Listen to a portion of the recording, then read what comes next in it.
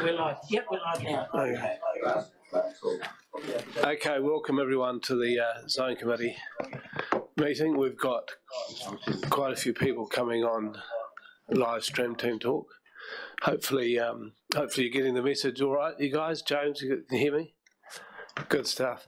So, um, David, if you do the karakia, please.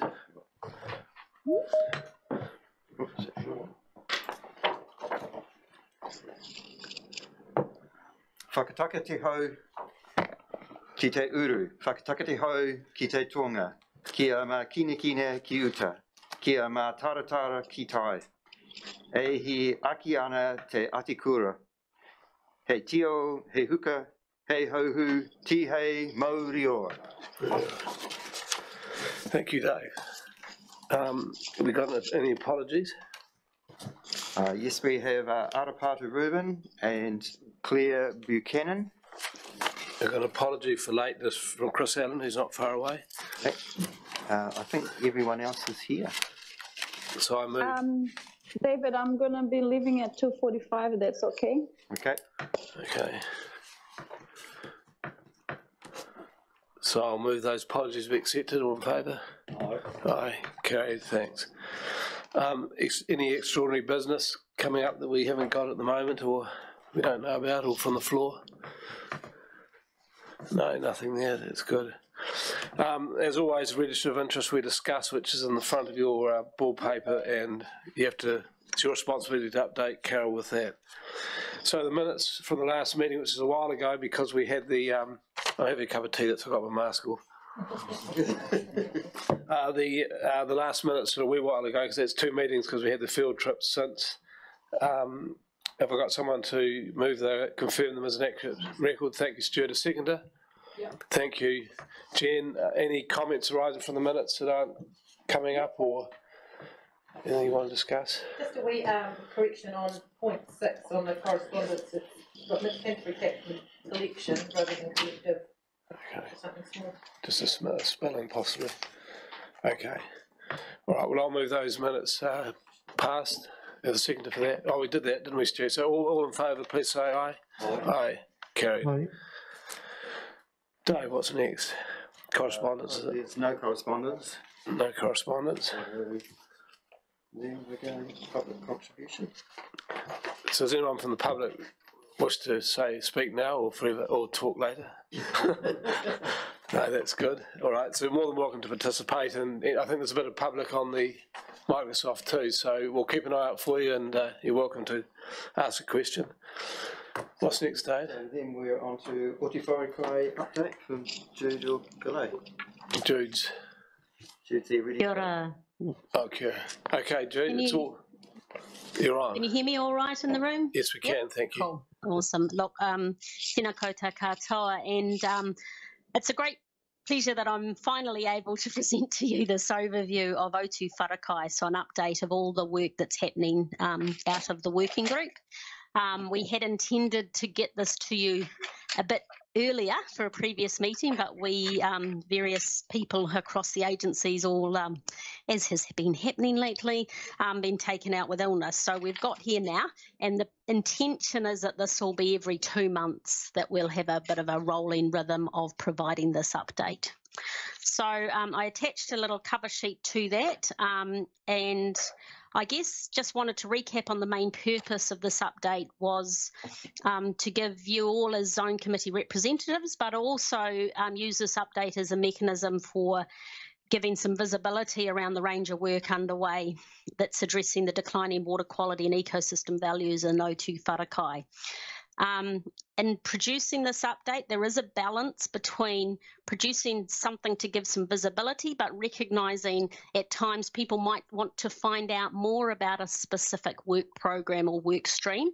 So the opportunity for the zone co- committee is to make that request from that lead agency via myself or um, Ruben and our team or through Dave to, and we can organise that more more detailed presentation to come to a, a zone committee meeting, because it's to provide a really detailed report is just going to be too work extensive, and we'll be taking our eye off the delivery in that catchment. So I guess it's just managing managing that tension.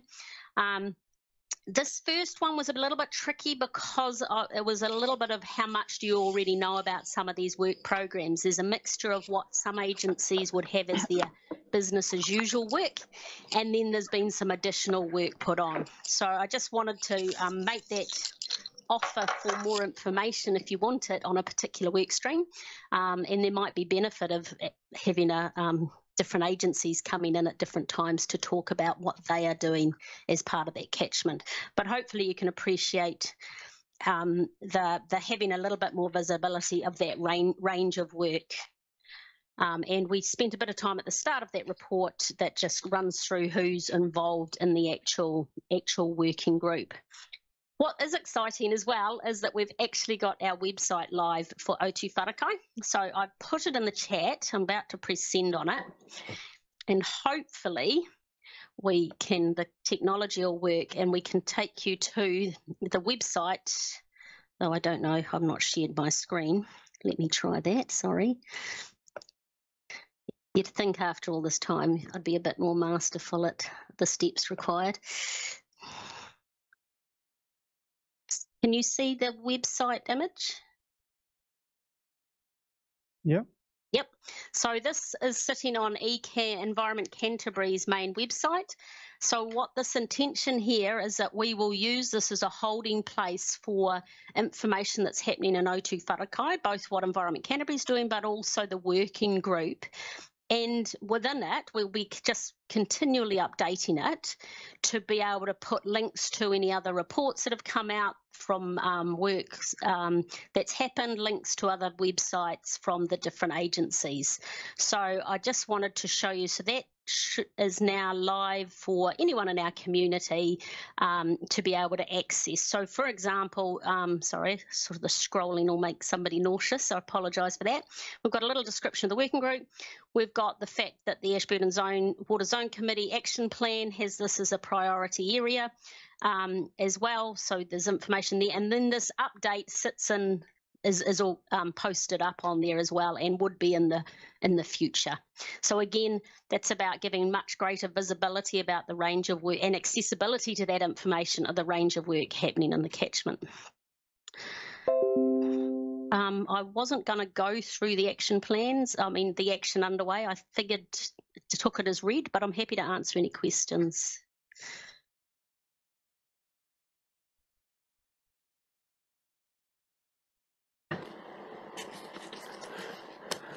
It's a, it's a good report. There's plenty in it. So we'll just have a look. Is there, have we got Yeah, any yeah. questions coming out straight away?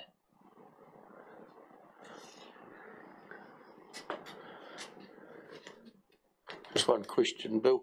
The, the monitoring that's been happening so far, what's it telling us in the early Yeah. stages? So um, the monitoring from this past summer season um, has shown that for, and it varies with each of the water bodies. And actually, at the next zone committee, I think we're scared. Did we wire it in, Dave, to get a presentation of the water quality results? Yes. Yeah, so so you, at the next meeting you'll get the detail. But for um, Lake Clearwater, which of course was the the um, the initial water body with the greatest concern, has shown some improvement this summer from where it was. Not out of the woods yet because it's a trend. Um, but Lake Heron in particular has shown a bit further decline. So there'll be more info at that at the next zone committee meeting and our science guys will be talking to that and I think along with the Department of Conservation's water monitoring results because they monitor some of those high country streams um, and they will be able to answer detailed questions at that point. I'm not a water quality scientist so So Chris, have you got a question? Yeah, um, Judith, I probably asked the question before. Where does the zone committee sit within the process? So one of our priorities the whole area. Yep. What do we do? Where do we sit into it? Everyone else is doing everything else. So what do we do? Well, I think I think that's a it's a good question, and I think there's two two avenues for that. Um, one is um, the working group's composed of the the people and agency who can make actual change on the ground by the work they're doing. Okay, so that's currently um, the those, those members. So it's about the fact that they can influence what what improvements can be made on the ground. The bit that we're really conscious of, and one of the reasons for doing this update on the website was the broader engagement about what's happening in Ō Tū Wharekai and what are we doing about it. And I think that's a really critical role that the zone committee forum has. So hence why I think you holding this update is, is a great place for for that. Um, and looking at what are those opportun- what are those other engagement opportunities that might be needed.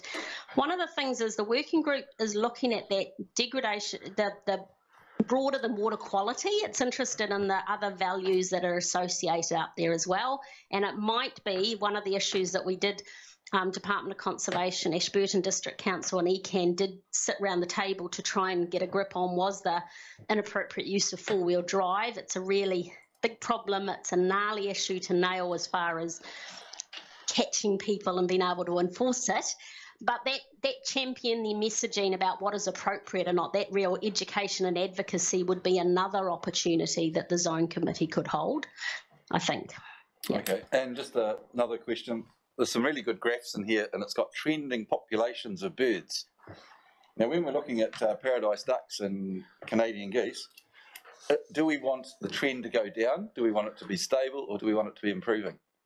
And I think that would depend on your perspective and what you value in that environment, because some people would want a growing populations and others would, because they compete with um, the habitat for livestock, for example, would want to see the trend different. That's a, you know, a complex resource management issue. We just thought um, Fish and Game went to the trouble of producing those graphs a bit more detail, so we just thought we'd include them in this report. So it's an example of a, a bit more detail, but depending on who you ask, you might get a different answer to that. Yeah, and it's just all about context, and that's all very well looking at a Mm. snapshot. But actually, we've seen massive um, increases in paradise ducks on our place. So if they're not up there, where have they gone to? And I Mm. think we've got a lot of ponds, so it might not all be bad for the area, but actually it might be just a snapshot where you're looking at the time. Yeah, yeah. Judith, I've just got a question on the membership of the working group. Um, you've listed, I think on page seven, basically the organisations that are representative. Or, Yep. so I, I don't know who these people are representing these organisations. I don't know who's representing ADC or ECAN, whether it's councillors or staff. And the other, can- the, the other point I'd have is that you know, there's a farming community up there, there's a lake holders community up there, there's people with recreational interest. And in the past, you know, even back to 2016, the zone committee had quite a part to play in that because it could relate to both groups and its elected representatives, but we seem to have been cut out of that. Um, as, can you explain that, please? Yeah, look, so I moved into my my role here of, of, of kind of um, being an ECAN lead in connecting the working group. Um, we put some project management support around around that, um, and I just stepped into this last year, about this time last year. So so I just caught up with Nick actually to ask the sort of plotted history. But I think one of the reasons we we deliberately didn't put membership names into the working group because when we, we did this as a in collaboration with the working group members, they felt it was more important to see the agencies represented than it was the individual. But the membership of this working group from those agencies is very much more operational staff. Um, for an, as as an as an example, so um, so, so each of the four farms are invited to attend and participate, and some do and some don't. It varies depending what else is happening when the meetings are, etc. Um, Ashburton, uh, we've got Ian Hyde, for example, who who sits in that Ashburton District Council space. Um, several different people from DOC. Um, Tom and someone else, I can't remember their name offhand. So it's more operational staff. Um, one of the things that has happened in more recent times, um, so the working group started, came in together around 2019 um, to really just connect on what's all the work underway and what what needs to happen. And it was a you you'll know some of you will know this history better than I did um, around the information that Department of Conservation presented around their concern of declining water quality and um, what what could be done about it.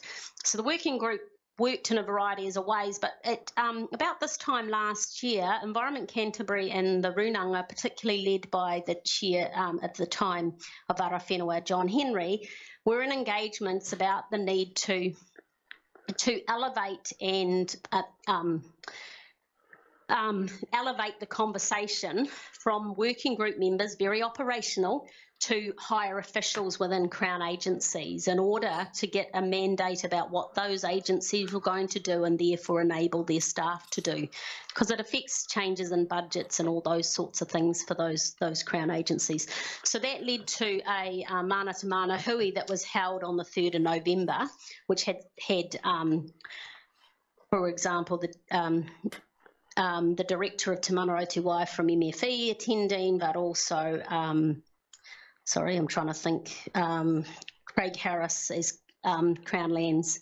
So, so, so it was quite a very high level level meeting. So that's happened since, and that was about expediting action, um, given that sometimes the bucket you've got to manage with is is, is the limiting factor on what pe- what agencies can deliver. So that started, and that that group's met twice now. So they met November last year, and then now um, just last month. But that was to come as a commitment from Crown agencies to Runanga around improving the water quality of that in, in the Ō Tū Wharekai. Okay, thank you. And just, so who do you report to um, when you have results? Because you're getting in on time or in real time data and all those sort of things. You're getting plenty of information. Who does that get sent to? Um, so, so we get information. Um, I'm not sure how much of it is real time. We tend to do a, you know, some of that water quality is real time, but we get it it gets bunched and QA'd, quality assurance, and then and then presented in chunks. I know that for environment, the work environment Canterbury does in that space gets fed through to our councillors, and obviously will be part of the conversation at the next zone committee meeting. When with, as part of that presentation through, Okay. is that what you meant? There's, yeah, uh, basically, I'm asking, is the zone committee going to be kept up to date with the results of these tests and things? And your, your, your reply is yes. Yes, Yes, yes, yeah, yes, that's yeah. good. So, Uh, and that's the other thing about you'll get that much more if you see this kind of update happening every two months. You'll get that. Yeah. And, and invite those other agencies to come and talk about what they're doing. I think will much improve that that connection and understanding, and therefore see your opportunity of the role you could play much more clearly. Yeah. Okay, thank you. Uh, any other guy? Jen's got a question for you, Judith.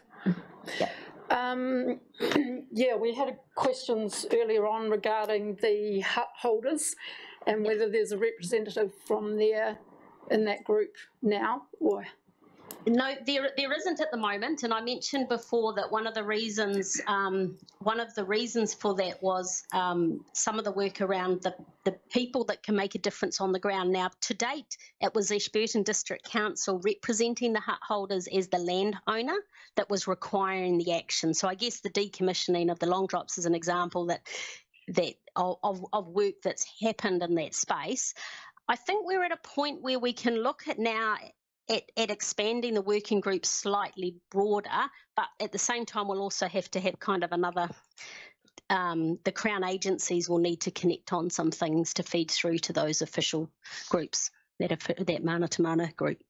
So, so we're in a bit of a um. So coming up, the working group's meeting on the fifteenth of August in Methven. It'll be our first face to face in over a year um, just to connect. And that's part of the exploring we're doing about because we're really interested in how do we improve um, visibility and connection with other stakeholders apart from you know this sort of current membership so how do we go wider and what does that need to look like so i think that's part of the i guess just continually revisiting things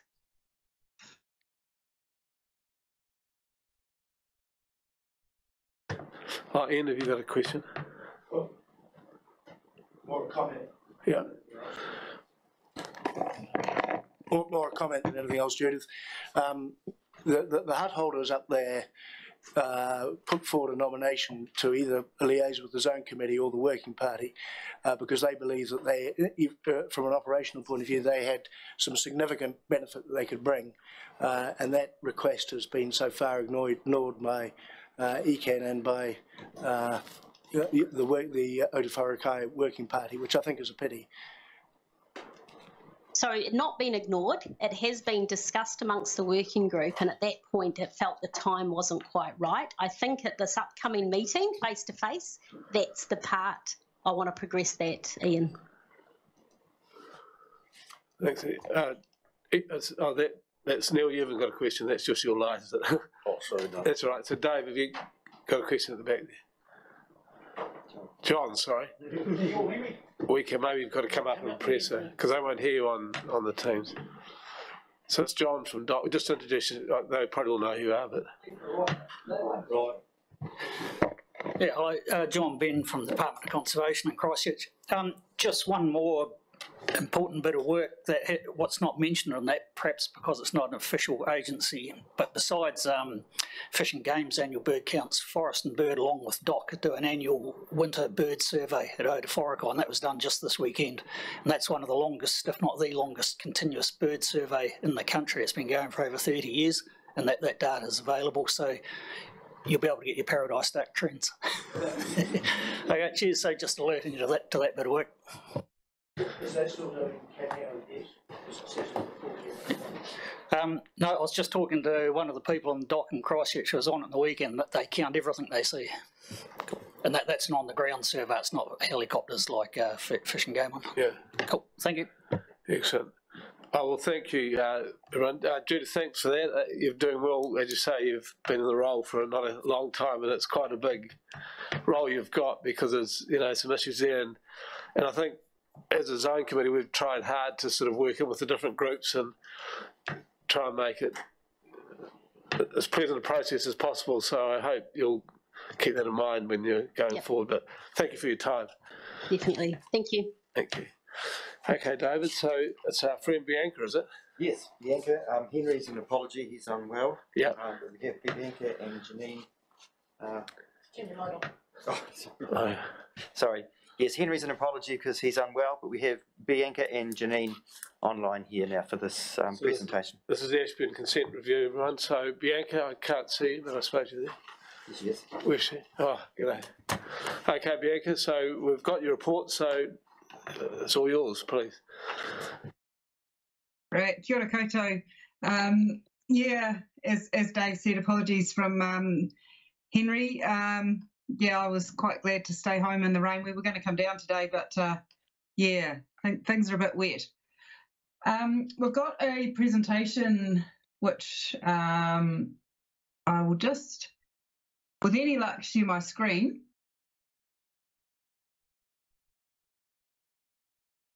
Can you see that? Something bizarre has happened. Nothing No, yet. okay, hang on a moment.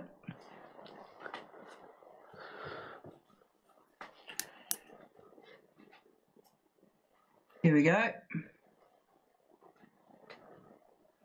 Yep. Yes, How's that? good, thanks.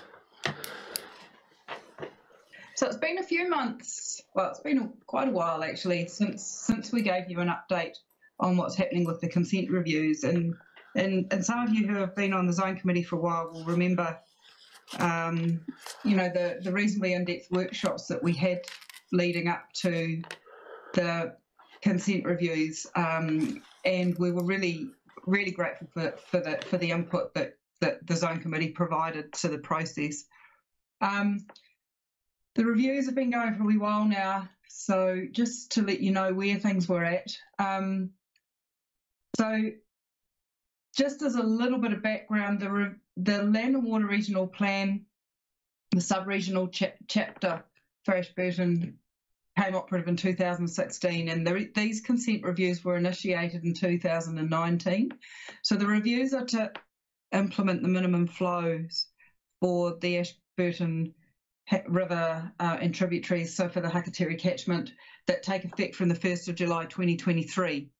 So we'd thought sort of initiating those reviews in 2019 gives consent holders a bit of time to make that adjustment um, before before the new minimum flows kick in in 2023. So so it includes a six cumec minimum flow for State Highway 1 uh, and then minimum flows for tributaries as well. So you may recall that there's also a minimum flow of 10 cumecs in the plan uh, that takes effect from 1st of July 2033, we, we made a, a pretty conscious decision not to include that in this review. The plan will be re- revised prior to 2033, um, and we did have quite a few concerns about that 10 cumec number being reasonably high. Um, so the reviews target just the minimum flows and also the flow recorder and telemetry conditions as well. So just a couple more slides from me before I hand over to Janine, who's going to step through sort of what what we're likely to see from from the reviews. Just benefits and impacts. Benefits to start with. A lot of these are written are, are included in the zip, and one of the key reasons for the higher minimum flow in the plan was to keep the river river mouth open more frequently, and for longer periods as well. The reviews um, well, minimum flows will also help restore the natural character and the glory of the of the waterways, um, particularly the, the, the spring fed streams. So we're also, um, and I'll get into this on the next slide, but there is an equity issue too if we had consent holders moving to to the new plan minimum flow at different times. There would be quite a lot of equity issues there. In terms of the impacts and, and, and some of you I know have been directly involved here, there, ha- there are some pretty significant impacts on some consent holders. The reduction in the number of days they can irrigate is going to be quite severe for some. And I think one thing that we've really, well, that ECAN has learnt from this process too, is that you can do an economic assessment as part of a plan as to what the impacts of minimum flows would likely be, but it's not until you get down and discuss with consent holders, with farmers on the ground, that you can really understand those impacts. And they do vary greatly from farm to farm, and that's something that that we've under that we understand a lot better now, and that has been feeding into the plan process for this next plan and the way that they're doing economic assessments to try and get a better understanding of what the impacts would likely to be of, of certain measures. So uh, in terms of the other impacts, there were quite a few consent holders who are taking connected, hydraulically connected groundwater who didn't have minimum flows currently. So the effects are going to be greater for them than for people who are shifting, uh, say, from a three and a half cumec minimum flow up to the six cumec minimum flow. Some are going from no minimum flow to six, which is quite a big jump, particularly when their investment was was made on having no minimum flow. Uh, the other thing the plan does provide for swaps to deep groundwater, uh, provides an allocation for people who who have a, either a surface water take or a hydraulically connected groundwater take to get to access to deeper groundwater. Um, but a lot of consent holders can't. There's there's not deep groundwater available in all parts of the catchment. Um, also, irrigation schemes um, uh, BCI were trying to to hook some consent holders up, but that that fell over as well. So. So there are issues accessing alternative water for those who are going to be quite severely impacted. So I've covered some of this, but the the rationale for the reviews, just to recap, a lot of the consents aren't due for renewal for quite a number of years, and I think the longest ones were somewhere around like 2041, so quite a ways to go. So the river wouldn't see the benefits of the plan minimum flows until all of the consents, or at least the vast majority, are on those plan minimum flows. And in the interim, those who who moved to the planned minimum flow first would end up having less reliability, while the remainder would just end up with improved reliability without any any benefit to the river, if that makes sense. So there is a real equity issue as well as not really realising the benefits to the river until all consent holders are on that planned minimum flow together. So without doing the reviews, that there would have been those issues. So where are we at with the reviews? 88 uh, were consents were reviewed. Um, so that that was 50 hydraulically connected groundwater takes, 36 surface water takes. So currently 71 of those 88 have been resolved. So that's either uh, granted with the minimum flows. So we've got 62 that have gone through with the new minimum flow. Six have been declined. Um, and while declined sounds, I suppose, um, you know, for if you're applying for a consent application and your consent application's de- declined, it doesn't sound like a good thing. Uh, for a consent review, if it's declined in this instance, it means that those consent reviews have gone through without the new minimum flow being being added to the consents. So there's various reasons for that. Either the consent holder has changed their their rates or volumes of take, uh, and for groundwater takes, that in some instances has meant that they're no not longer hydraulically connected, so they don't need a minimum flow anymore. Uh, others uh, have uh, done done pump tests and showed that actually there's there's no there's no hydraulic connection there, which again means they don't need the minimum flow. So so we've ended up um, yeah with six dropping out of the review process, uh, and three at this stage have been surrendered. So those consents um, either I think one of them was someone who realised, well, they had the consent sitting there, but they didn't need it.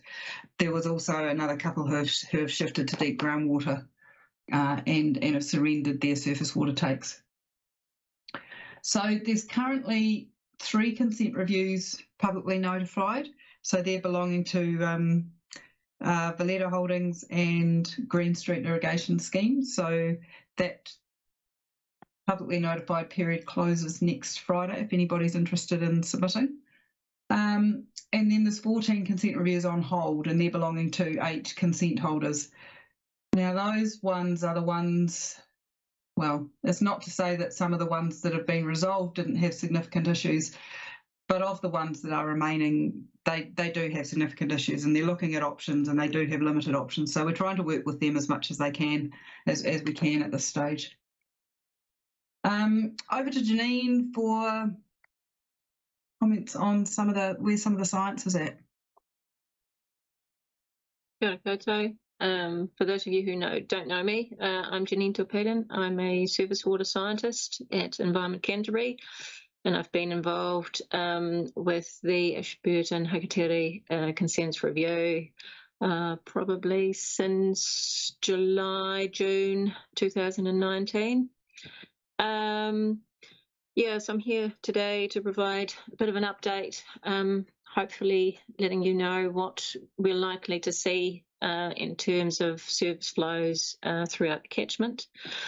Um, important to note is that, yeah, we will only be able to to know what the actual benefits are from July 2023 onwards, um, because that's when the new minimum flow regime kicks in, uh, and then most likely um, we will only be seeing real benefits from the start of the irrigation season, so September, October onwards. Um, and then um, because the ecosystem will have to adjust to the new minimum flow as well, um, groundwater and hydrology will need to find a new way to interact to each other in a new equilibrium. So, um, yeah, the likely changes we will see maybe December 2023, uh, some, somewhere around there. Uh, and of course, the farm practices will will adapt further. Um, they're now in line with the plan, but a lot of them have had to made, make uh, significant changes to how they're actually going to irrigate on farm, um, and they will most likely be adapting um, further over time. Um, so, yeah, what what have we used then to um, to show the likely benefits from um, this minimum flow uh, regime uh, and, and, and getting the consents in line with that. Um, we've used um, uh, the results from a water availability assessment that was carried out in, in July 2019. Can you show the next slide, Bianca? Is that all right? Sorry, I'm not driving. yeah, cool. Um, which was a, a, daily water budget model. model. Uh, in there, we uh, used all the available water data that we had um, and actual water use data, um, and we compared basically what the um, current minimum flow conditions were on each uh, existing consent um, and what they would be after um, the consent review and then um, looked at what the flows would be under those two scenarios. Um, and it's important to note that that will only show a relative change in the surface flows, but also in the water availability because things are different on the ground um, because surface water and groundwater interaction will change um, uh, depending on what people are doing. Um, also, farm practices will change um, because of the new minimum flow regime. But yeah, assumptions that we made were that everything would stay the same other than the minimum flow regime. So it's it's purely a what would you be seeing now compared to what could you be seeing in the future if everyone shifted to the new minimum flow regime.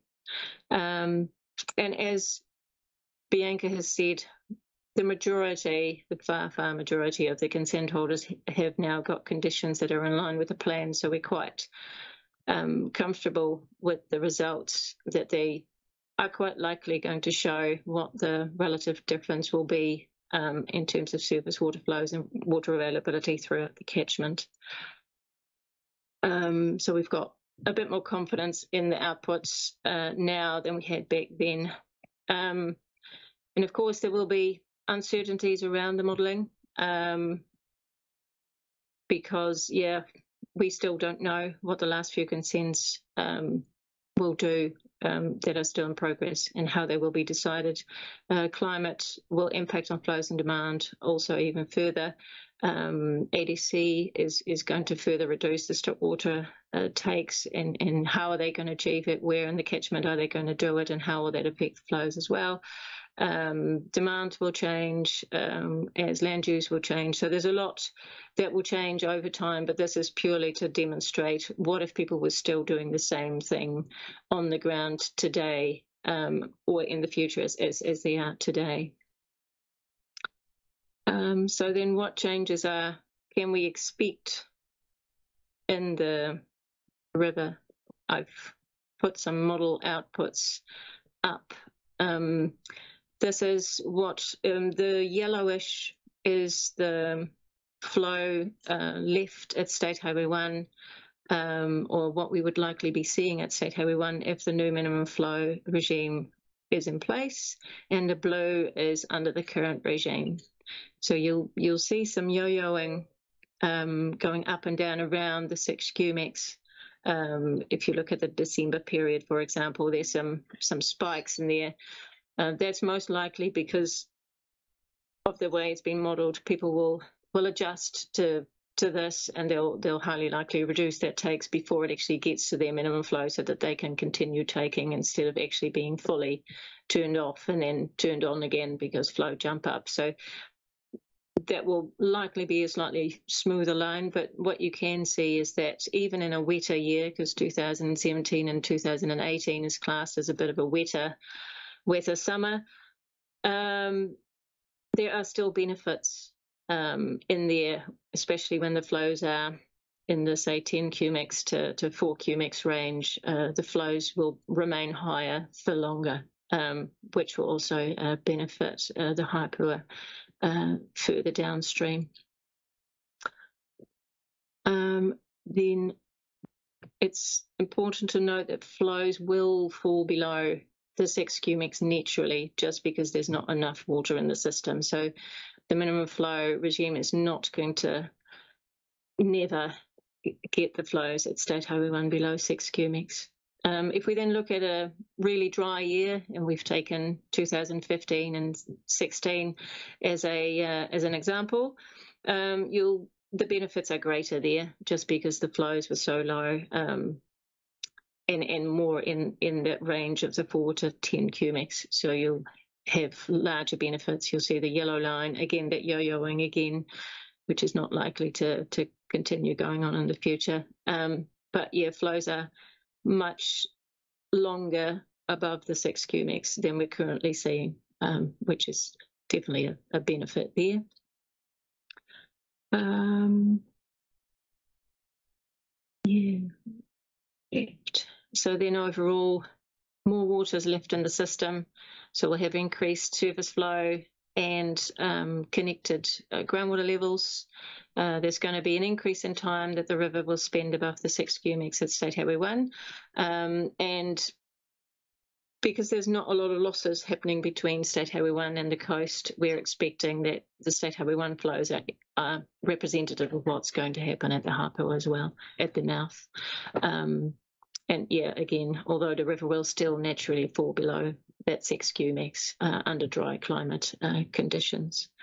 Um, what I can say though is that um, the model might be underestimating the benefits a little bit because we now know that some of the concerns that were initially um, represented in this modelling as um, going to be in line with the minimum flow regime have since either transferred to deep groundwater or they have surrendered their takes. So there's uh, roughly about um, 800 litres to a cumec um, is is uh, not taken out of the system uh, after 2023. So that will further um, enhance the flows in the system or further enhance the groundwater levels um, throughout the catchment. And I think, yeah, it's over to you, Bianca.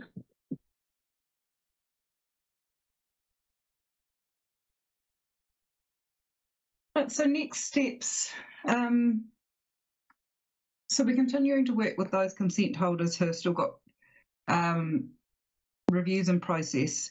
That includes a number of consents to consent applications in process where people are wanting to swap to deep groundwater, where we're working with the consent section as well, just to make sure um, make sure that those consent applications are prioritised and and and managed well. Uh, we are aiming to have all the consent reviews decided by the 1st of July 2023. So those consent reviews that are still in process, we are starting to put a, a bit more pressure on now for those consent holders to um, to either propose an alternative minimum flow or to start um, or, or to accept the, the plan minimum flow, given if anybody was to appeal uh, the review, that would take time as well, that we wouldn't then have, have them all determined by 1st of July 2023. Um, the other, I suppose, the other sort of key work that we're doing at the moment is those applications that have been notified. Um, those ones need need a bit more work from Environment Canterbury, uh, and we're looking at this stage that those hearings would probably be late October, early November at this stage. So ideally, again, those consent holders would have their decisions out before Christmas. That's what we're hoping anyway. So so they've got and got a good period of time before the next um before the next irrigation season to to to work out what they're going to do, depending on on what that decision is. So that's um that's all we had in terms of presentation. Has anyone got any questions?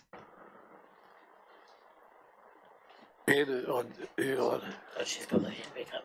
Oh, we'll just wait a because Sydney had hers up and down, so she, she, Sydney, you, you fire ahead with your question. Hello, hi, Sydney here. Um, I just have a question. You said that the um, uh, what you can see in the future is nothing much changing. Um, I just want to to find out if you had considered what would be the recharge to groundwater when this uh, flow, you know, comes to to what you're expecting to to be in the future. Have you uh, looked into that at all? I think you mentioned something, but um, what I understood is that you predict there will be the same. The recharge will continue to be the same, even though you have more water into the the system.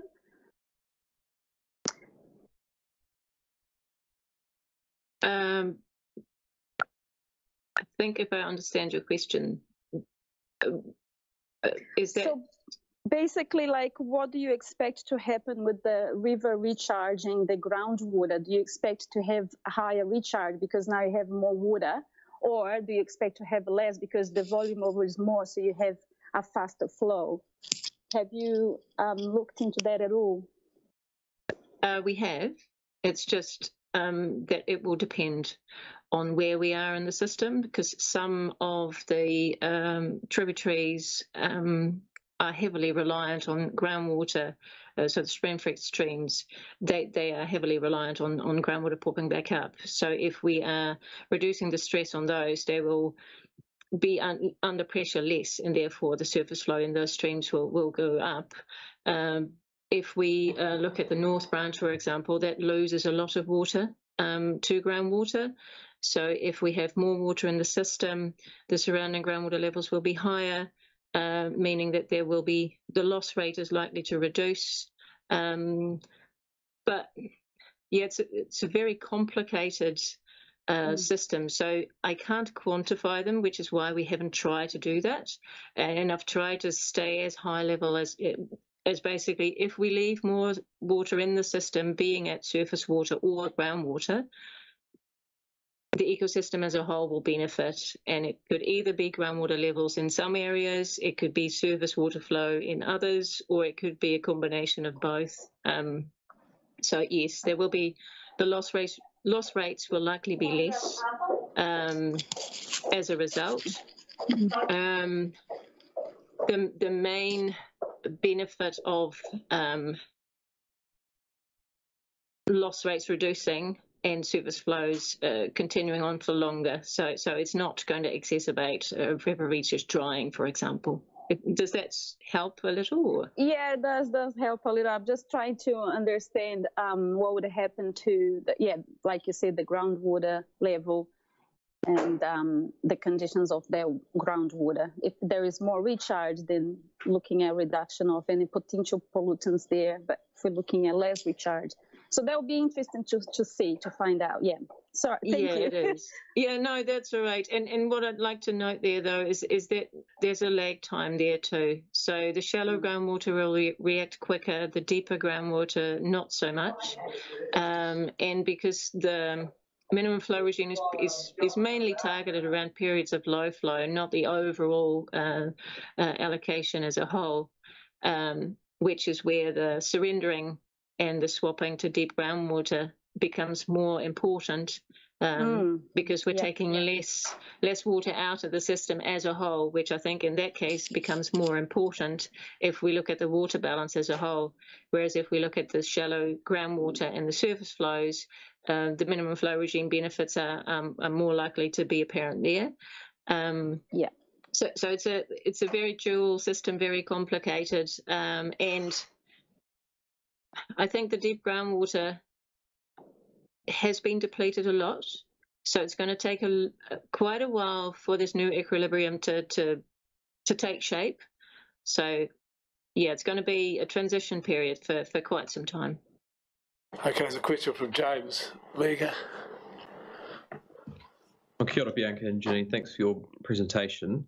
Um, I just have one question. I have a legal background, and I just had a question about viability of consents, which you may or may not be in a position to answer. Um, I understand that ECAN's position is that a consent remains viable, and this is uh, in relation to some of the publicly notified consents, that it remains viable as long as water can still be taken under the consent. And it doesn't take into account uh, the viability of the perhaps farming operation or the commercial operation. Are you able to give some insight as to what why ECAN has that position?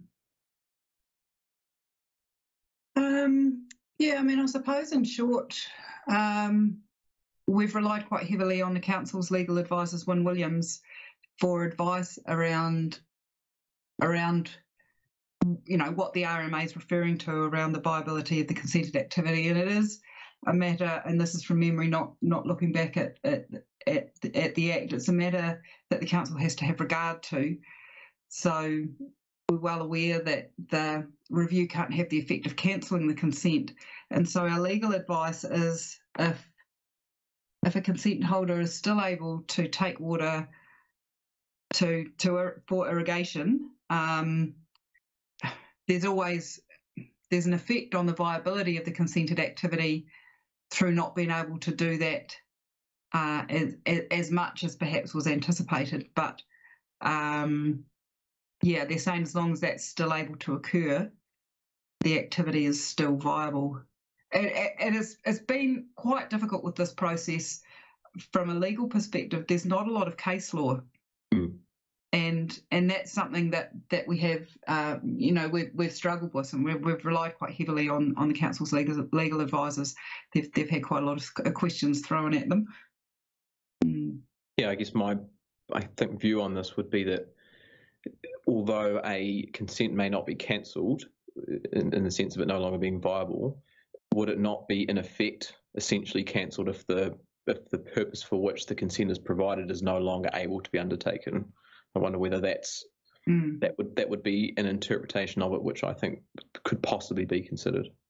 Yeah, and that may be the interpretation of whether the consent's cancelled or not. And I know the advice we've had around sort of what constitutes cancellation versus an impact on viability is, yeah, it's it's reasonably complex. And I, I know it's discussed also. I don't know if you've seen the um, Mr. and Mrs. Galloway's consent yeah. went to um, yeah went went to a hearing, and Ben Williams appeared for the Galloways, and there was there was quite a quite a discussion around around those points. Yeah. Thank you. Thanks, James. Uh, Ian, did you have a question? Yeah, thanks, Mr. Chairman. Uh, Bianca, uh, thanks for your presentation. Um, uh, Janine, I mean, sorry, or both of you. this question is for you, Janine. Though. Uh, have you assessed? You, you, you, mentioned closing down further stock water races. Have you effect, Have you assessed the effect that that's going to have on biodiversity values and uh, in-stream values in streams that are associated with the stock water system, where the stock water system uh, races tail off into, namely mainly a lot of the spring-fed drains to the south side of the Ashburton River, which aren't part of the Ashburton River catchment. Because if you because there's um, the, this zone committee and its ZIP um, had as one of its high priorities was to restore the health of the, of the uh, spring-fed drains. Uh, a lot of those relied on stock water race water, um, for their continuous flow. And as, as the district council closes down the stock water race system, uh, a lot of those drains are drying up. So, so in terms of your overall um, assessment of the benefits of increasing flows in the Ashburton River, have you counted in the um, the adverse effect you're having uh, by closing down the stock water race system, and therefore a lot of the flows in the uh, drainage system? Um, I haven't, because in the modelling I did, I assumed that everyone was going to carry on as they were. So the results that I've modelled do not account for any stock water closure um, at all. Um, I know we've had some discussions in the uh, water quality team, so for me it's purely a quantity side of things. Um, and I think it, there it becomes more of a what value, what do we value more? Um, and, and it's a tricky one. Um, but yeah, in short, in, in my, in the water quantity assessment, I haven't because I had assumed that no closures were to happen uh, because we couldn't anticipate um, or, or, preempt what um, ADC might be doing and where they might be doing what. I've got a, and we will be, sorry? Sorry, I'll just go a, a quick supplementary to that question because when this whole consent review process was started, as Bianca said, 2016, 17, 19, one of the key parts of it was that stock water closures would have an effect on the water that was down the river. So are you now saying you're not even including that at all? I haven't done it in this one, no. Oh, that's, uh, that's interesting. Uh, because what I've assessed was the effect of the minimum flow regime, and ADC was not going to be subject to uh, the July 2023 minimum flows. So, as a result of the implementation of the uh, minimum flow regime, nothing changes for them. Not, not for them, but it does for the river. Um, yeah, Ian? Um, I, well, yes, but that's not not related to the minimum flow regime, though. If they were to, to close their stockwater races, um, that's not uh, part of the consent review process. It's, um, I, I, understood that. Uh, I understood that the uh, there was a requirement for the district council to close down the stockwater races to meet the to meet the flow regimes required for the 2023 plan. uh, and in fact that there has been instructions to ADC to consider closing down the brothers intake off the Ashburton race, uh, off the Ashburton River specifically for that purpose. Yeah, we've we've had a few. Well, we've had conversations with ADC re- reasonably recently, just trying to get an understanding of how much they're taking for the stockwater races. Uh, in the ZIP and also that tra- follow through into the land and water regional plan, there's a there's a policy in there that that specifies a, a maximum amount that should be taken out of the system for stockwater. Um, we're reasonably comfortable from the information that ADC have provided us that that the stock water race abstractions are below that uh, and reasonably well below that. But I know ADC are still planning to continue some stock water race closures, and there's a local government act process that they need to go through for those closures where they'll be looking at a, range of issues, including the biodiversity values. But um, but my understanding is that it's not solely uh, this process driving those closures. There's a, there's a lot of other considerations ADC have as well. Uh, it seems there's not the same uptake, and, and, and, there's probably others in the room who know more about this than me. But I know fish screens are, are quite a, a, big issue as well. That those stockwater races don't have um, don't have compliant fish screens at the moment. Chris, you have a question. I've got to declare my conflict, and I'm sure I'll get a conflict uh, and it makes it, and Bill will pull me up. Um, thanks, Bianca, and thanks, Janine. Um, we've got a river now of two halves. We've got a minimum flow at State Highway 1, and we've got another minimum flow at the RDR. You, Janine, you showed the reliability at State Highway 1. What does it do at the RDR? Because they get first crack at the water. So I'm coming back to we've got a planning process that pick some winners, and I'm just wondering what does the hydrology look like with after the consents review for the reliability at the RDR take, because effectively that's the minimum flow site that drives the whole catchment from here on in. And then I've got another question.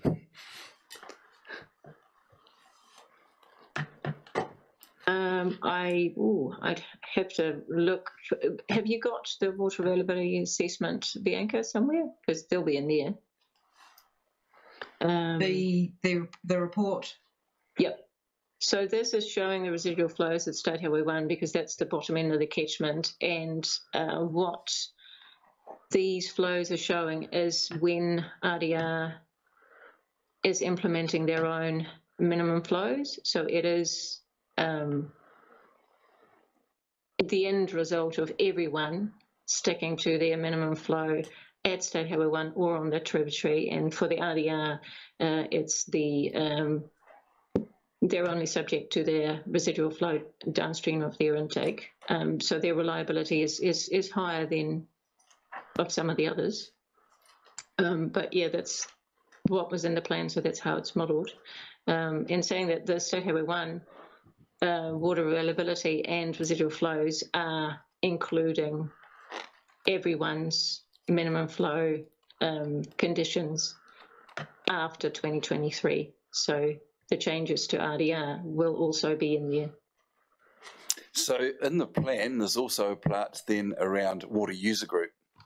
So does the plan actually enable water user group to include RDR or all other those that have hydraulic connection, or is it actually a plan that actually is useless because it can't compel those to be, become part of a water user group? Um, just wondering where it all all sits. Now that you've uh, been involved in the process for quite a wee while and read the plan through and through, Bianca. yeah, I mean, I think we can't compel, or Environment Canterbury can't compel people to join water user groups, but it's certainly going to help when people are on the same minimum flow to be able to move into water user groups, and the council will be quite supportive and probably quite encouraging of that, I would think. Uh, just just one note on the the um, RDR as well. Um, I'm not sure if I should be saying this or not, but I will. Um, under the under the plan, and there's a there's an environmental flow and allocation table in in section 13 of the land and water plan, and it it it um it has a, a different minimum flow for RDR, as I'm sure you're aware, but it also has uh, an allocation for an allocation limit for a, the A block and the the B block for RDR, and at the moment their consent has all of the allocation, all of their consented allocation in the A block. So we've had some discussions with RDR about reviewing their consent to shift some of their allocation to the B block. Uh, and those discussions have been going well at this stage. Need to, to follow up with Tony McCormick to um, to to see where things are at. But but that's one thing. Just just I suppose to make sure all the ducks are lined up in terms of what the plan anticipated is that um, that RDR's allocation is, is split as per the plan. Okay, thank you.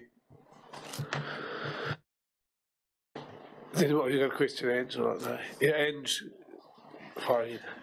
Yeah, uh, thank you for the presentation. So my question is just at the end, we, we talk about the wellbeing component, um, and you've highlighted COVID-19 and Mycoplasma bovis. Um, it doesn't mention flooding, and obviously for uh, each and every person up and down the river last year was a very significant event. Um, the financial impact was um, was significant, um, but the emotional burden was equally so. So um, I, I'm hoping that there's acknowledgement and recognition of that in the process, uh, rather than just a just a paragraph at the end when they talk about that there's processes in place. Um, I, I'd, I'd hope that those processes can stand up when and if needed.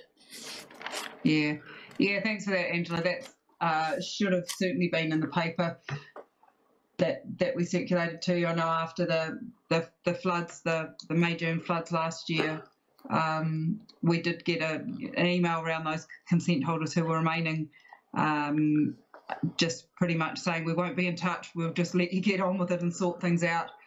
Um, we we we did certainly take the pressure off for quite some time, and particularly with for those consent holders who we knew were significantly impacted. Um, this was the last thing that they needed to deal with at this time at that time. Uh, yeah. So it has been a challenging a, a challenging couple of years to try to be doing a consent review, given there have been so many other pressures on the rural community. Yeah, and so just if we look what's happening at the moment, and last week, um, the ongoing vulnerability of the river too, and the ongoing stress that that generates. So full um, full recognition of the fact that you guys did back off, or however we want to term that. Um, but the problem hasn't sort of stopped or ceased for those that um, live with our rivers. Yeah. Oh, thanks, Angela. Is there any other questions? Uh, Jen? Yeah, this is less a question and more of a comment relating to Chris's question just before. Um, I have to admit that I don't understand everything that you were talking about with the RDR and where the, the intakes are and those things, but just thinking that if we are looking at collaborative process that rather than um, an idea of compelling any organisations or people to have to do something. If there are processes we can go through to um, to bring all the community and groups together in order to um, all be working towards what we want for the best outcomes for the river and the and the community and everything. And so rather than talking yeah rather than a compulsion kind of idea if there's something that we can do to just be talking to, to the RDR if that's what it takes. Thanks, thanks, Jen. Uh, Bianca, thanks for your, I think we're all getting a bit older. This process has taken a while. Uh, we've been at it for a while, haven't we? We're all, but uh, you're getting to the end of it. It's, it's, it hasn't been easy. Um, we've been dealing with, you know, with two conflicts really, isn't it? Getting the water back into the river and, and obviously the farming community giving up consents and, and your staff have done a good job and trying to get the balance right and there won't be wins all the time but it's not easy I know so we do appreciate it and uh, we appreciate you updating and we'll keep keep you updated. I will be interested on the Stockwater one. I've just been looking at my old records and it's been mentioned a few times, so we'll just uh, look into that. Um, I think before we close, I think James, have you got a quick question? Yeah, I just wondered, Bill, if we checked if anyone else online had any questions. No, they haven't checked. Is, this, is, it, is there a hand up there? What's that red line up there? Is there one there? At the top. Yeah. I'm not sure. You, I know, just- you, Jones, is it? Yeah, that's me. Yeah. No, if, if not, then that's all good. Yeah, no, we have been keeping an eye on it, I think. Can you hear me or not? Yes, we can, Matt. Have you got a question? Oh, yeah, look, apologies, guys. Um, I've missed all the discussion. Um, just the, just just on my way through the Lindis Pass and they closed it. Um, they opened it, so I've made a mad dash, but unfortunately means I've missed the uh, missed most of this meeting. Um, but uh, yeah, just just heard that summary, Bill. Um, and look, I, I agree that ECAN have got a tremendously difficult job uh, with what they're doing. Um, but you know, it, it, this may have been mentioned, but it's just really important for the committee to know that that, that that absolutely it's a balancing job between you know the river and the community and the consent holders and what have you. Um, but it it still should be about that balance. Does say that the um, the idea of putting in these low flows shouldn't adversely affect consent holders. Um, and that was the story that was that was the messaging that the consent holders were given at uh, not only during the course of the land and water plan, uh, but also uh, through the beginnings of this review process. Um, and for some people, that's not come to pass. There are significant effects uh, for some consent holders. And, um, you know, looking at the plan and the messaging that has been given out, there was never the intention. Um, and, you know, we, we find ourselves in this position now. And, um, you know, socially, there are some costs. Some people are taking a heavy burden um, of this, and it's just important that uh, uh, you know that the committee know that. I'm sure that many of you are already aware of that, but just thought you know with this being an agenda item that I would raise it. Bianca, do you want to comment on that at all? Or? Oh, I, I, I'd probably just to- totally agree with what Matt's saying. This is a, it's a very difficult, challenging process trying to, yeah, try, trying trying to get the balance. But um, and it is the case that some consent holders are being, you know, are being being seriously affected. It's it's I think it's difficult for for everybody involved. Yeah, I think we've learned a lot about this process and when we started and engaging with the community and and uh, you know you've got to believe the data that's given to you at the time and, and things have changed a bit on some of the data which has sort of made things a bit interesting but we'll just watch with interest and I suppose it'll come to head a bit with the hearing ones because all that will come out so watch it Uh, so Chris you can talk about the general process eh? No, just just the, just the general process because Bianca, right at the very beginning there, one of the parts of your first slide, you talked about um, the effects, and then James asked the question about the legal advice. How do you balance up the two between the zone implementation plan saying X, the legal advice saying Y, and because I'm it's for the greater zone committee here.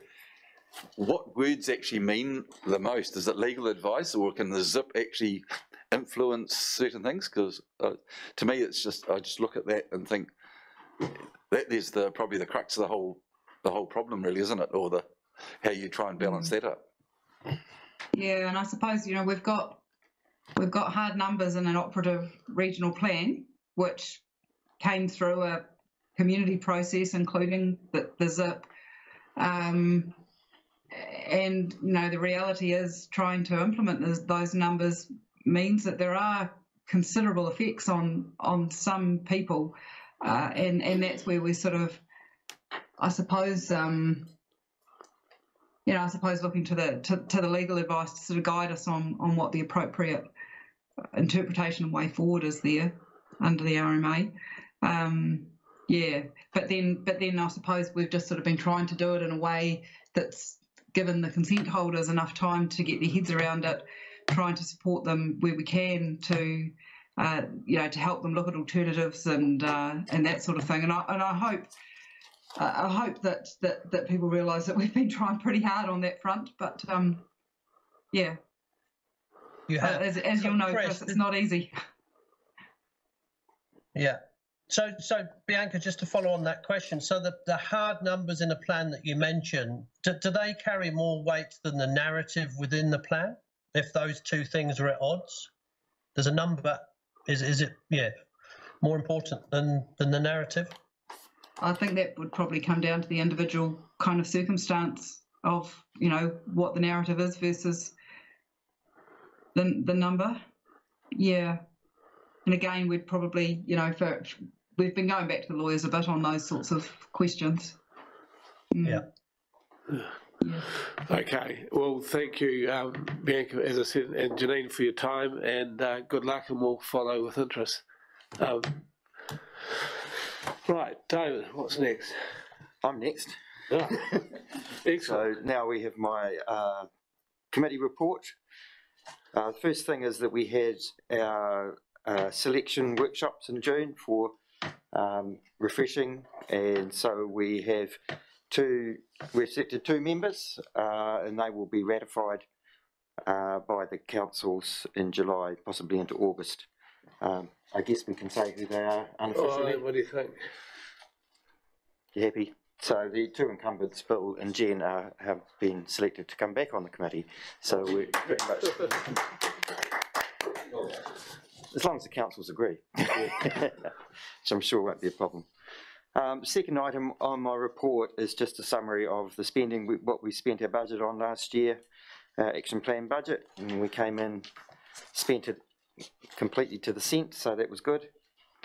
Um, this financial year that we've just just into now, we have another fifty thousand dollars um, for our action plan initiatives. And the next item there is just looking at our work program through to the end of the year. So I'm proposing that in August uh, we have our election for the chair and deputy chair because we're due to do that again. Um, we'll also be having uh, an update from, as Jude talked about, Ō Tū Wharekai water quality data update.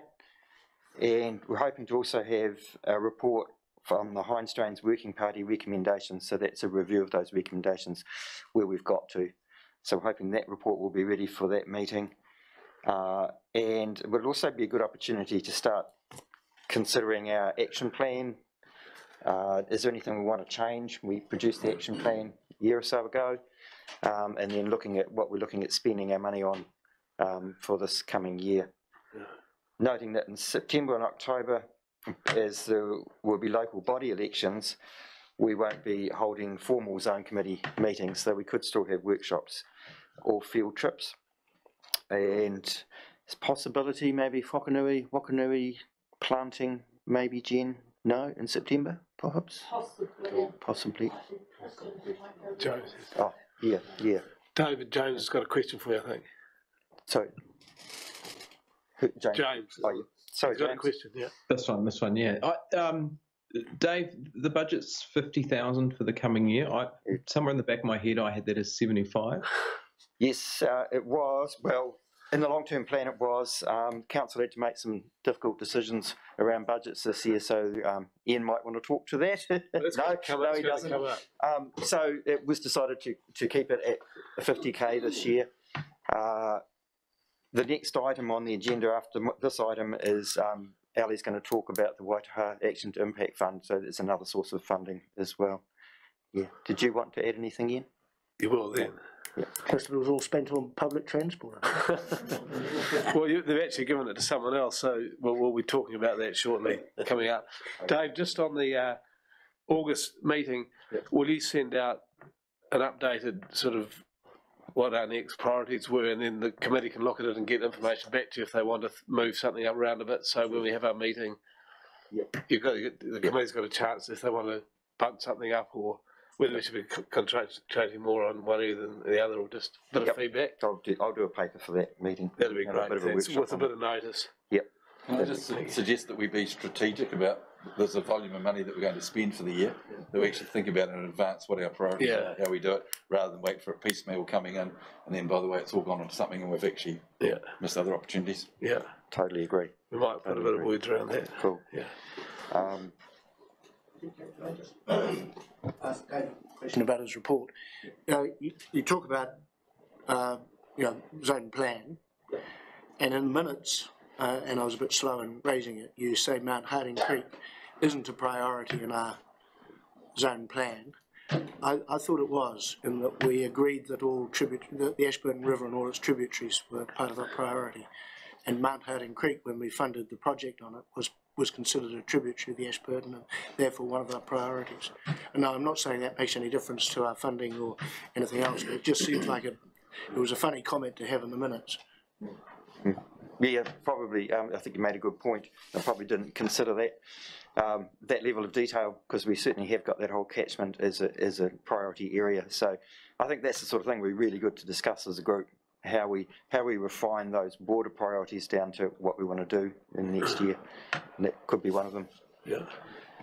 Uh, Regional groundwater long term. Yeah. Yeah, so the points four and five are, are just um, for your information, reports that went to the Natural Environment Committee. Uh, so just for you to read, and if you want more information, there's some links there on those. I'm certainly no expert in those areas. That's my report. If I could just make a further comment. It- To, to sort of sum up the, uh, the, the, the direction of where the zone committee might go. Um, Certainly in our annual plan process, uh, the future of uh, ECAN's financial commitment to the CWMS, for which the regional committee and the zone committees is the major part, uh, was questioned, and it was considered that perhaps the new, the incoming council uh, might consider reviewing that expenditure to try to make, to, to ensure that we're getting value for dollar. And clearly, this is an issue that we have to work with the district council with as well, because they're co, co-partners in this, or funders, or co, whatever you call, whatever we call ourselves, very good friends, I think, is it? Or in America's case, very, very, very good friends. Um, uh, but some of the discussions uh, that have been had is whether, in fact, we, um, uh, I think some of the critics of the zone committee process now is that you're administering, you know, there's quite a lot of um, bureaucracy for administering a fund of fifty thousand dollars a year um, on funding piecemeal biodiversity projects. Oh, close to the microphone, sorry. Um, piecemeal biodiversity product, pro- pro- projects, where we might be better to put that fifty thousand dollars into funding um, things, uh, initiatives like ANGES, catchment collectives, which is doing, which are doing, you know, widespread biodiversity projects across the district. And if perhaps the, we could streamline the process to, I mean, this is just one option, to, to put the funding into the catchment collectives, uh, so that Ange or her, um, whoever else is doing the job can, A, uh, source other funding from other sources, whether it's MBI or MPI or whoever else is involved in funding those sorts of projects, but also doing that coordination of uh, uh, effort of encouraging and making sure that the projects are getting done out in, in the district, which then line up with the zone committee's aspirations for their action plan.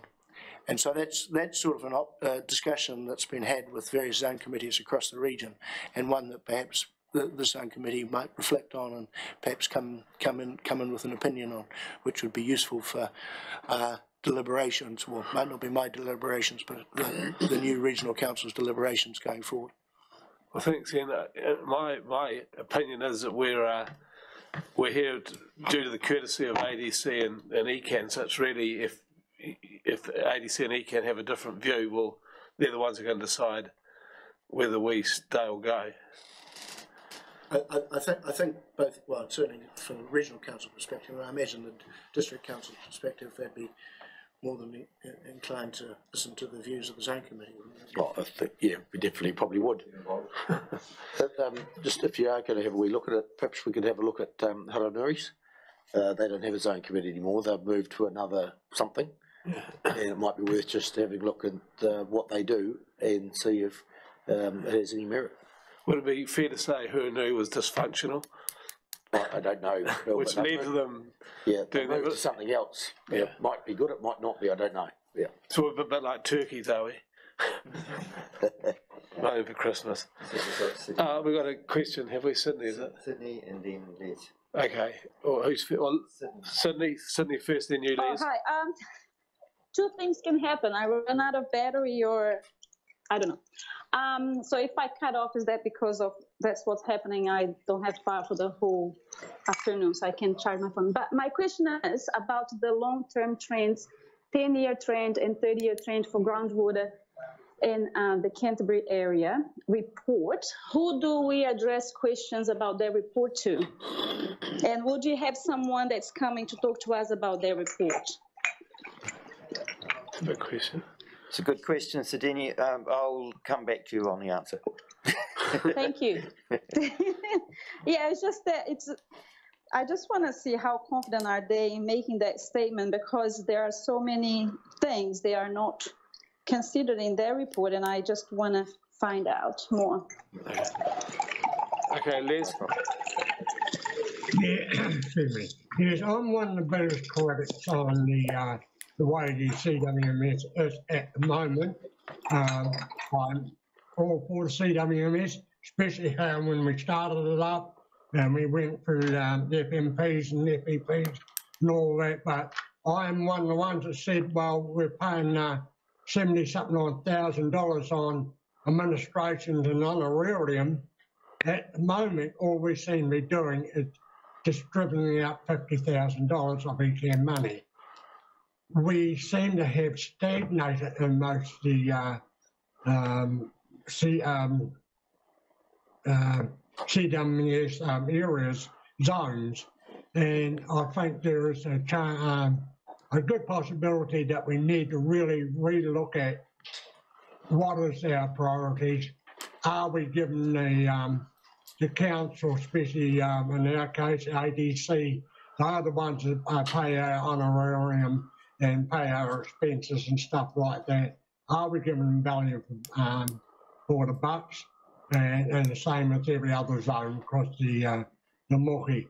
Uh, I, I think that we need to restructure completely.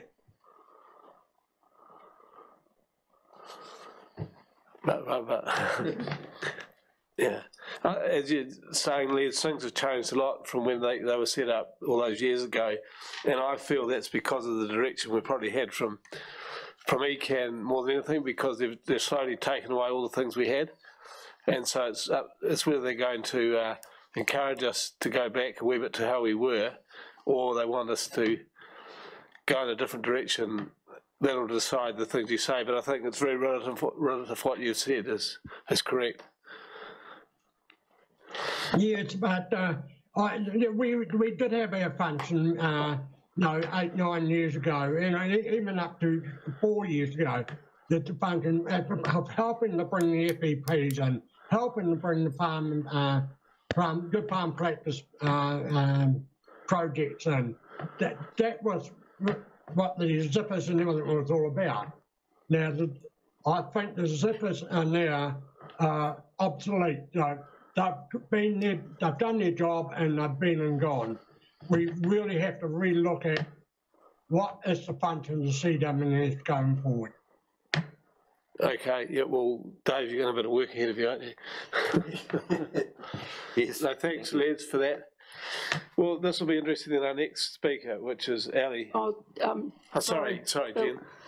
Um, I'm just wondering if you could enlarge perhaps on your comment just now about uh, if ECAN want us, us, the zone committee, to go back to how we were before. What did you mean by how we were? What, what I meant was we used to have ECAN staff presenting to us and, and the, uh, the zone delivery teams, um, which we don't get very often now. You know, they had Janine Holland and uh, Livia, and so it was more.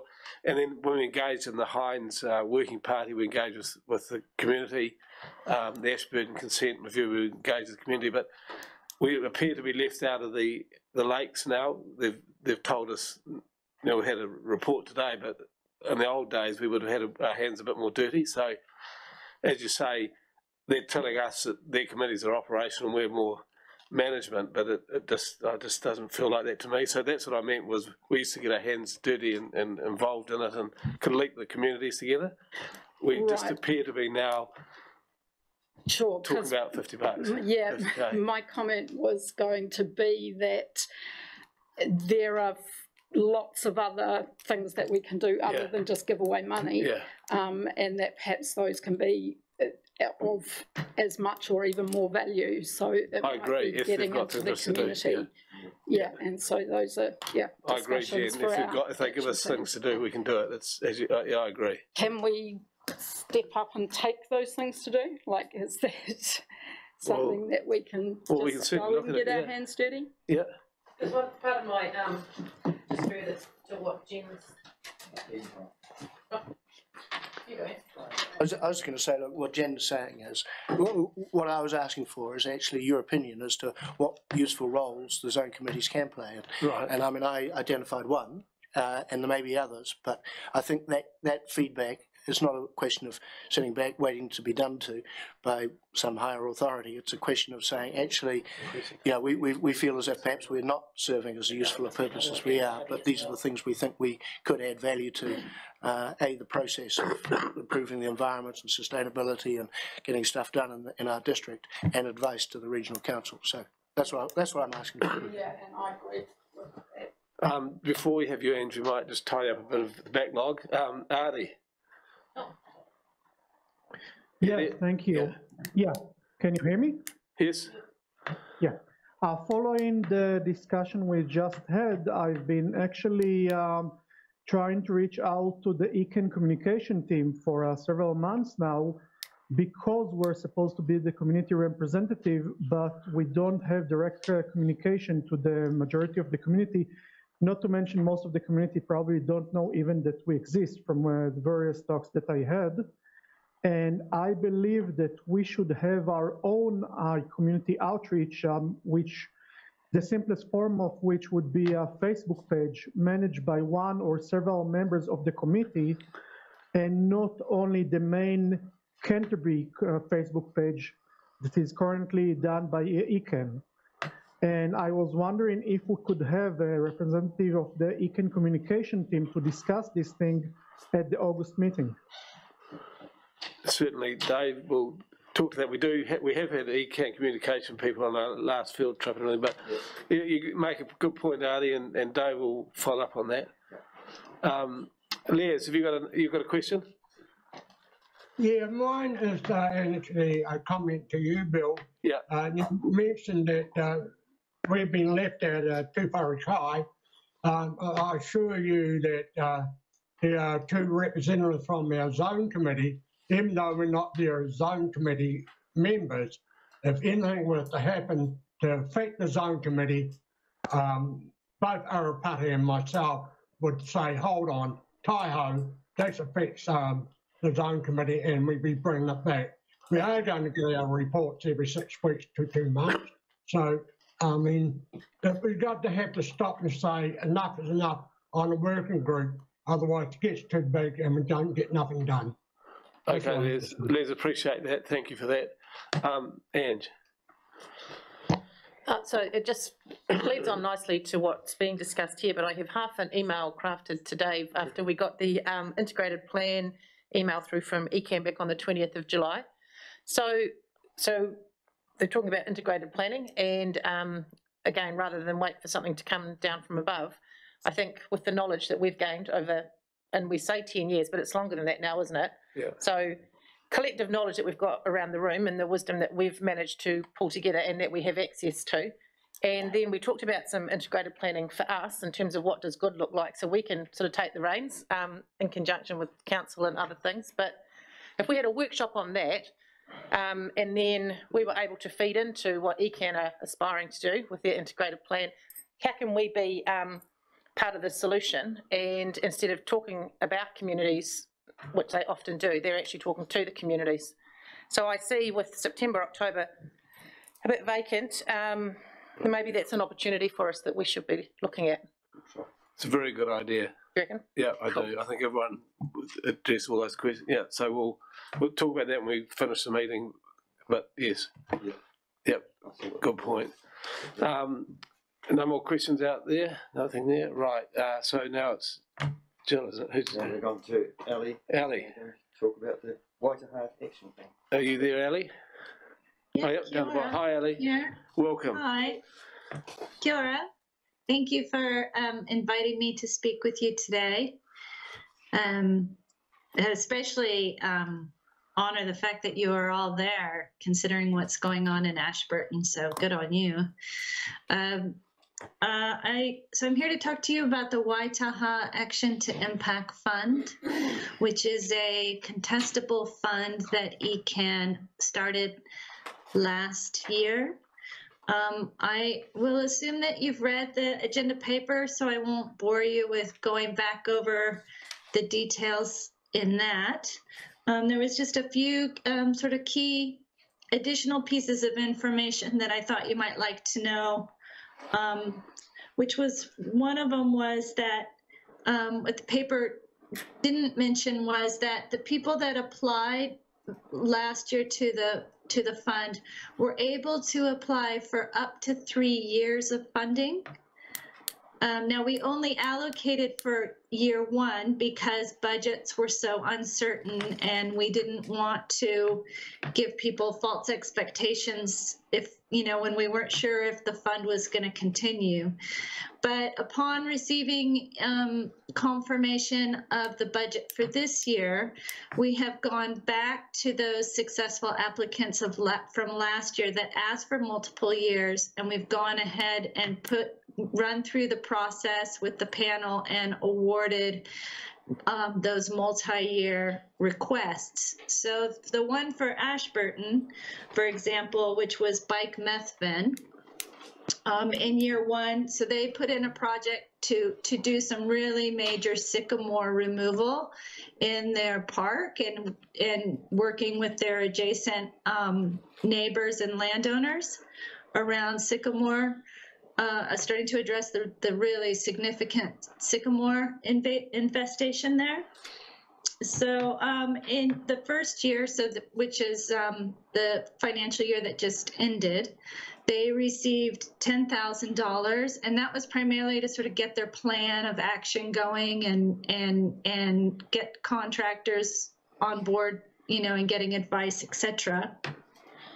So this year, the they were awarded twenty thousand to go ahead and start getting the getting the project going, and then ten back to ten thousand for year three, um, and so that that's really good news for them. Claire's been made aware of that. The group has been made aware of that, and um, yeah, they're quite excited about that. Um, so the other thing um, I wanted to let you know. Sorry, I'm just looking at my. Uh, first of all, is there any questions about that or about the history of Well, the Annie, I'd like to the butt in with a question fund? straight Yeah. away. Um, so you've taken our extra, what we were, we were going to get the seventy-five thousand, we're now back to our fifty thousand. And you've given that money away to a, a good cause in Mid Canterbury, which we as a zone committee could have done. So you've actually set up another committee using the funds that we're going to go to the zone committee. Is that correct, or have I got that wrong? No, I, I, I don't, I don't know. It's, it's not quite that way. And I see Ian's there, so he, you know, he might have something. Well, to he's say about smiling. So the It's- funding. It's fair to say um, Alice, Alison certainly hasn't taken any, anything away. She's doing what she's told to do. okay. Yeah, so, um, yeah, so I'm not involved with the, as Ian just said, with the, with how the budgets are determined. That's determined by the council, so I can't really address why one fund goes up and why one fund goes down. This is, um, out of, uh, general rates. It's not out, it's, it's not out of the CWMS budget, so, um, it is a different, it comes from regional leadership and it, it's a different part of the organization than the Canterbury Water Management Strategy. That's about as much information as I can give you on that. Um, it is a regional contestable um, fund, and it was set up in response to um, um, many requests and specific submissions that came through the long-term plan um, from community organizations across the region. So that was that's the background on that. Um, uh, sorry, the other question we yes, it is regionally. So um, while it looks like a lot of money, it's it's actually quite comparable to the zone action plan money when you look at it regionally. So that would be 500,000 regionally for zone action plan, and this one is 600,000. So they are quite comparable as far as amount of money goes. Um, sorry, I, that's about as yeah, that's about as much as I can say around the inner workings of the budgets because I don't, you know, really play in that sandbox. Fair enough. Uh, have we got any questions? Angie's got one for you. Um, Ali? Yeah, I, I just think further to Bill's point, um, I think as a region, the more we can close the loop on what's happening here, um, and I know there's the Ashburton Biodiversity Working Group. So when um, when we get lots of different little things going on and we don't have it um, working sort of cohesively, then it's not the best use of often everybody's time and resources. So when, um, for example, bike Methven, I think you called it, um, it perhaps would have been good to notify the local zone committees that this funding had been allocated and maybe even get bike Methven to come and present to the group so that we're all up to speed with what else is going on and we don't have to know every bun fight in town, but that's quite a significant one that, again, to me, the zone committee closes the loop on a lot of that activity. So um, it would have been a, a good collaborative chance for them to um, come and meet us and, and get us a chance to meet them potentially, because that's quite significant funding.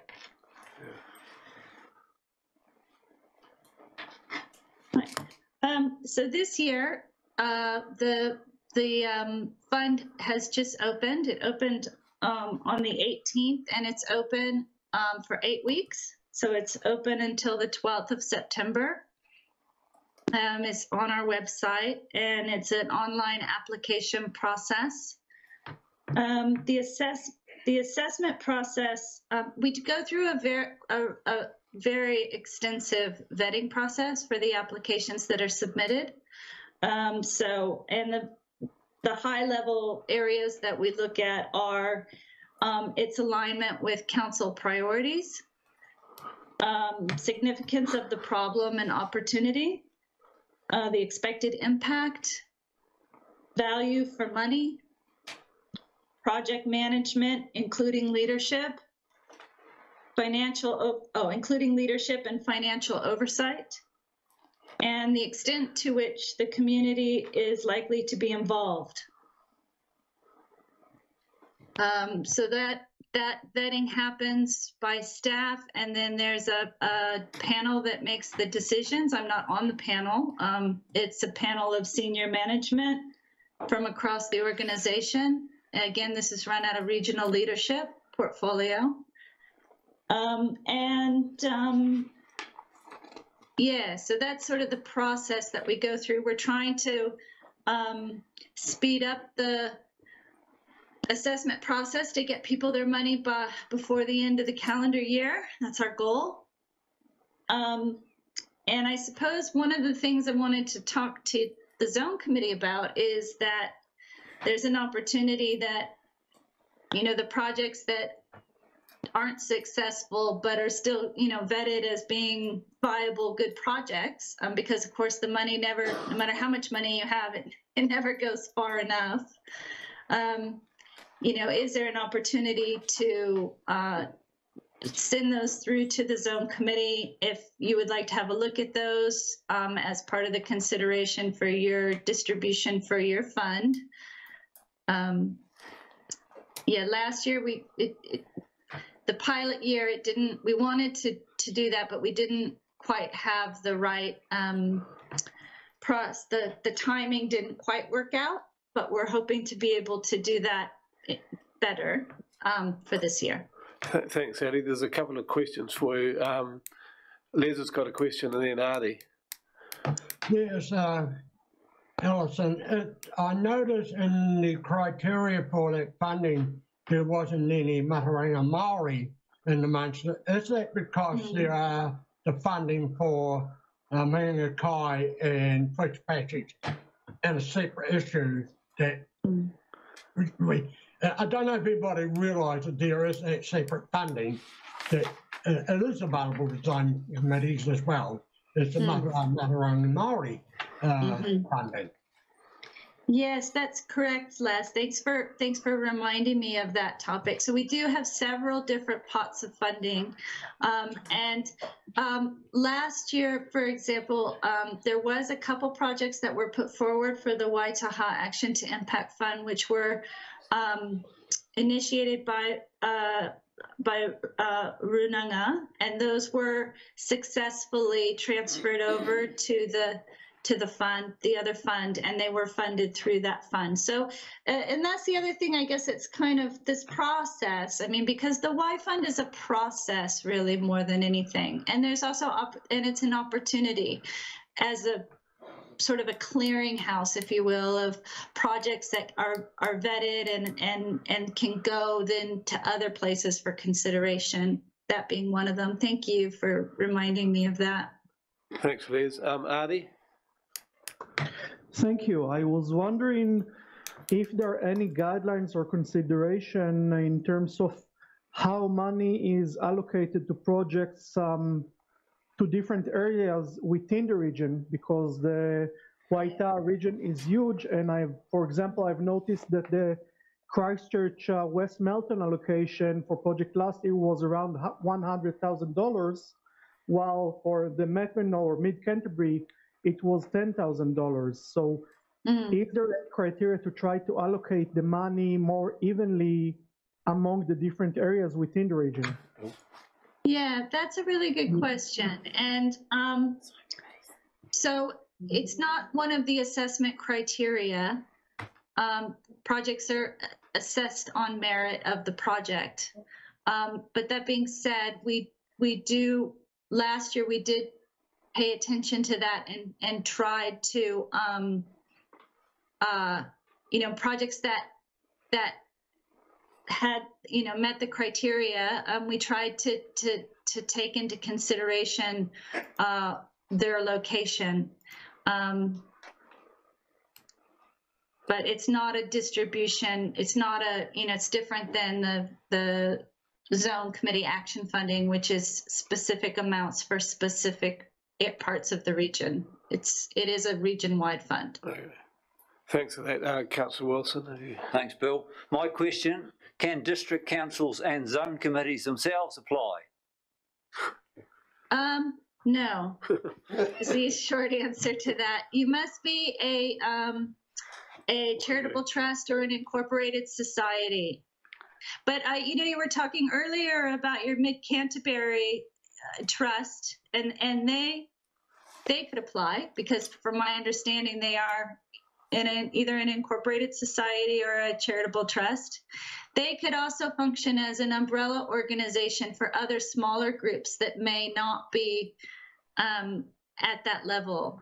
So they could put in a, an application for, you know, multiple projects and support smaller groups as well. Thank you. Uh, Jen? Thank you. Um, yeah, I'm just thinking about the comments that have been made by the zone committee about um, our loss of, of money and that it's gone somewhere else and and kind of wanting to be informed about what's going on. And I'm wondering if there's something that we can do to um, bring the community in to be able to like to have some incentive for them to talk to us about things. The reason I'm thinking is that the Y Fund is something that my organisation is going to be applying for, and I wouldn't really have considered coming to the zone committee to tell them about my application. But I'm wondering if the zone committee needs to have something um, like a, an area-wide idea of what Ki Uta Ki Tai actually looks like so that we can get these groups who are, you know, trying to do different things to fit into something that is a sort of regional plan that we can, everybody can look at and, and figure out where they fit into that and what could be done in order to do that. Is there something like that yet or? There's not yet, and I think it's a good point we can discuss about what we want Yeah, I think to do at the workshop. Good idea. Ian, Definitely fits in.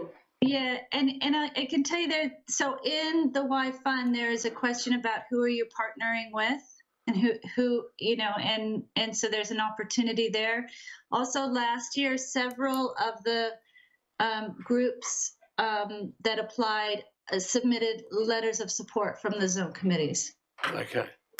Ian? Uh, I mean, I, I think Jen and Ange both made the same point in a different way, and that we, you need some sort of level of coordination. It would be nice if, as part of the criteria, Alison, um, when you're uh, working through the criteria in terms of priorities for the regional council, uh, if the regional council took some advice from the zone committees as to what their priorities are, so that there is some alignment between the zone committee's priorities and and this zone committee has some clear priorities in terms of the Ashburton and Hinds rivers and their tributaries. And so for projects that come to this fund for as an application, tick those boxes, then that's Yeah. uh, an additional tick perhaps. I mean, I, I think there's something worth considering that the way I Yeah, so so part of that vetting, uh, you know, I mentioned earlier that we we put the um, we vet the projects with staff.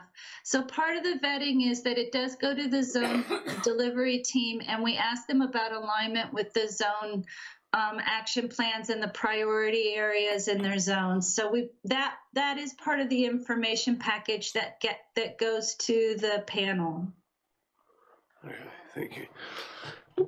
Well, um, Ali, that's it's been interesting. Thank you, and, and I think we've got a better understanding of what you're doing. There's probably not quite the conflict I thought. It might be just a bit different, and I think we can certainly work together, which would be good.